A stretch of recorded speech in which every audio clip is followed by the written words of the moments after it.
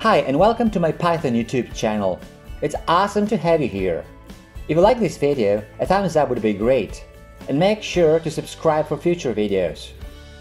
I also have a blog at prosperocoder.com with lots of cool stuff, so feel free to check it out.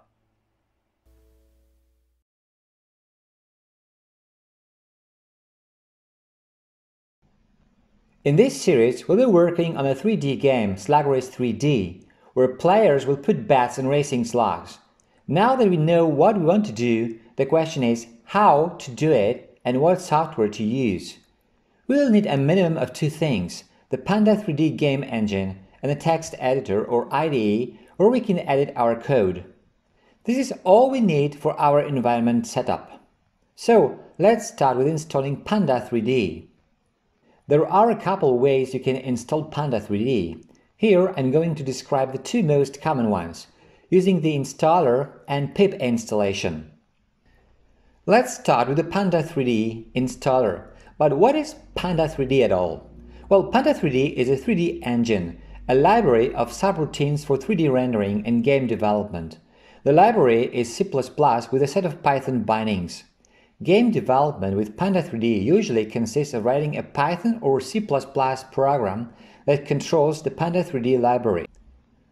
Well, this is what you can read on panda3d.org in the manual, not my words.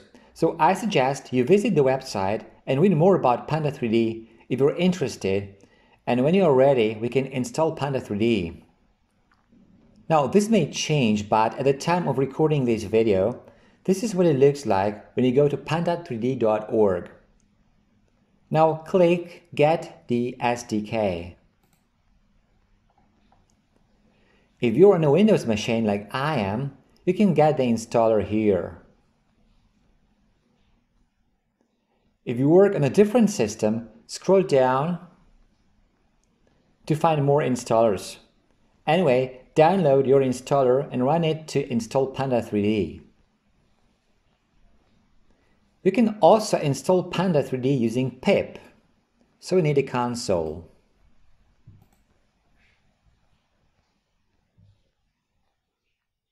This is very easy. Just type the following command in your terminal pip install Panda 3D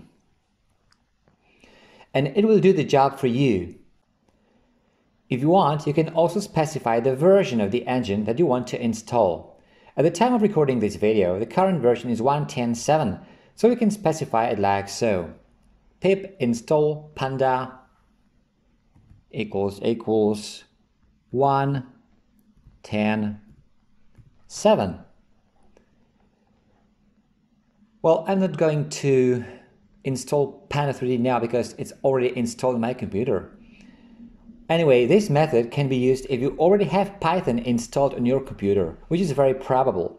If you don't, using the installer would be more appropriate as it will install a Python interpreter as well. Whichever method you choose, for the next steps, I assume you have Panda 3D installed on your system. The next thing we're going to need for our environment setup is a text editor. I'm going to use Visual Studio Code you can use any editor or IDE of your choice, but if you want to follow along and use the exact same editor as I do, just feel free to download and install it from their website, codevisualstudio.com. The installation is pretty straightforward. Now the Visual Studio Code has been installed and here I opened it. And now your Visual Studio Code editor will probably have a dark theme with which it comes as a default I like the light theme better, so I change it in the settings. So here in the settings, you can choose color theme and select one of these. I leave it as is.